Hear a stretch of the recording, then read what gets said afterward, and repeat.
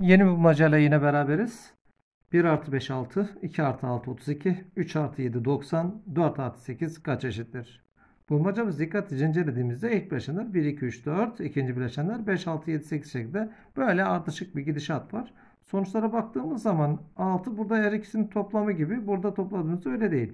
İlk bileşene A, ikinciye B diyelim. Yani A artı B'ye bakalım. 1 artı 5'ten burası 6 ediyor. Zaten direkt sağlıyor. 2 artı 6'ya baktığımız zaman 8'dir. Burada 32 var. 8 çarpı 4 32'dir. Burada bakacak olursak 3 artı 7. 3 artı 7 de 10'dur. Ee, onu da o zaman 90 elde etmek için 10 sayısını 9 ile çarpmamız lazım. Bu da 90 eder. Şöyle baktığım zaman 6 sayısını da 1 ile çarparsam 6 eder. Şuradaki 4 ve 9 buradaki sayılarla bağlantılı 2 ile 3 ile 4 demek 2'nin karesi demek. 9 demek 3'ün karesi demek. O zaman bizim kuralımız şu şekilde olmalı. Yani a'nın karesi çarpı a artı b şeklinde olmalı. İlk için hemen yazıyorum.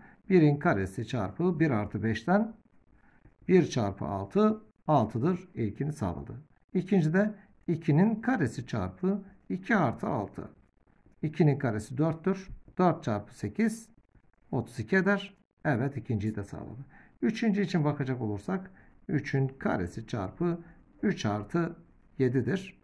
3'ün karesi 9. 3 7 daha 10. Çarparsak 90 eder. Evet üçüncü de sağlandı. Birinci, ikinci ve üçüncü sağlandığı için bu kural kesinlikle doğru. Bu kuralı artık en sonuncuda uygulayacağız. Yani 4'ün karesi çarpı 4 artı 8. 4'ün karesi 16'dır. 4 8 daha 12 eder. Bu işlemi yapacak olursak şunu çözümleme yapalım. Yani 16 çarpı 10 artı 2 diyelim. 16 ile 10'u çarparsak 160. 16 ile 2'yi çarparsak 32. Toplarsak 192 buluruz ki 192 bulmacamızın doğru yanıtıdır.